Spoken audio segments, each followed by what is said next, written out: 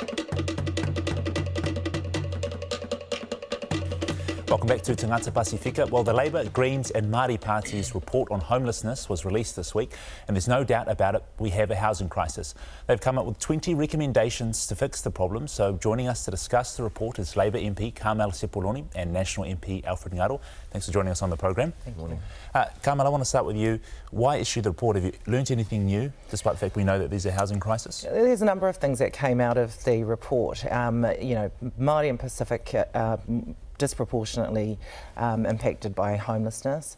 Um, there are groups like our rainbow sector, um, our disability sector, um, people with mental health issues um, who um, have issues exacerbated by homelessness. and, you know, just the cost of someone being homeless. Like um, someone put it at $65,000 a yep. year to try and cater to the needs of someone who is homeless. Um, that's a huge amount of money, and we, we could actually be alleviating the issues around homelessness as well as saving the government money in the long term if we had a proper plan to address this. Right. Alfred, uh, National chose not to take part in the study. Mm. Uh, why was that? So part of the reason it chose not to is that um, in 2008, actual Moana Mackey, who was in the Labour Party at that time, actually initiated inquiry. That inquiry took nine years to complete. So we believe the fact, and that was to do in regards to accommodation and boarding houses. So what we don't want to do is have another inquiry that would take over a longer period of time. For us, we want to get on with the business to making that happen and addressing the critical issues of concern. We know that there are 20 recommendations. We welcome this report because actually on the report it actually talks about a number of things that we are already initiating uh, as a government. So for us, we welcome the report. We look at the 20 recommendations. We've gone through those. We can tick off a number of things that we're completing as a government at the moment.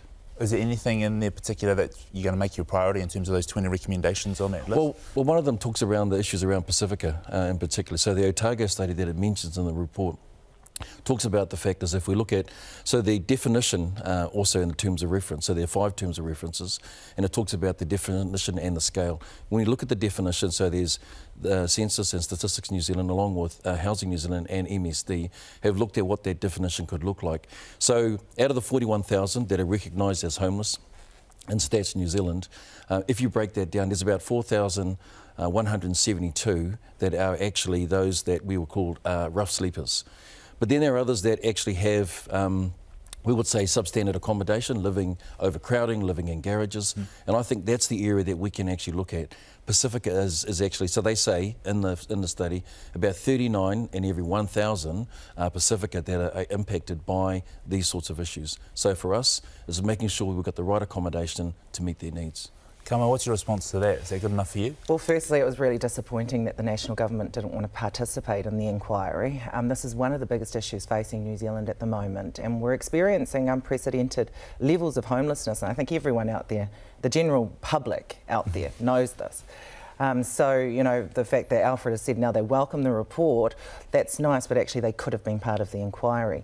Um, some of the things that are in the report, I know that, um, as Alfred said, the government are trying to do. I guess our concern is that there has to be full commitment to some of those initiatives rather than half-hearted attempts. Right. And that, that also involves some investment in terms of financial investment. Because one of the things they did talk about was that financial investment, and the report did say it's going to require a lot of money. Is yeah. that something Labour perhaps is, is, going to look at if they become and We're definitely keen to look at it, but at the moment we don't have the resources to model things or the financial costings um, the same way in which the government can. And so I guess, you know, one of the issues is um, that came up was a recommendation from the report is that um, that the Housing First initiative be completely, be the primary response to homelessness and that it be rolled out in its entirety.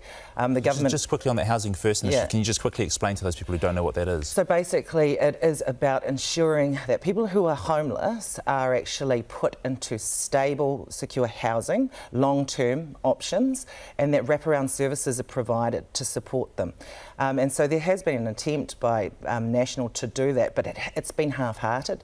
So I think um, the amount of money that they've put in is nowhere near at the level that you require for it to be successful. And we see from um, the same initiative run in Canada that you're looking at a cost of about $15,000, $16,000 mm -hmm. per person per year. Um, the government, what the government's put in here equates to about 750 right. per person who's experiencing severe levels of homelessness or, or, or long-term homelessness, yeah. sorry.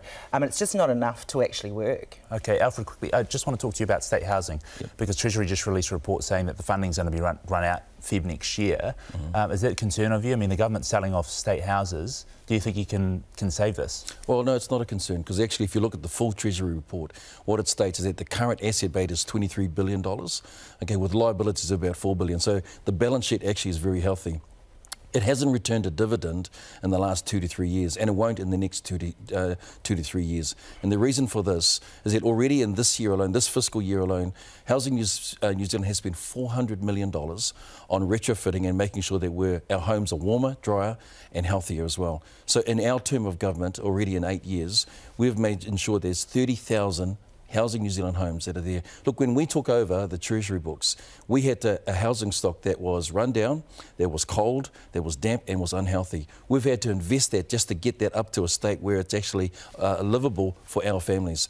So for us, we think actually the plan that we've got in place is actually to use that resource to make sure that all of our homes are retrofitted, they're warmer, they're drier, and they're safer for our families. All right, Carmel, last word.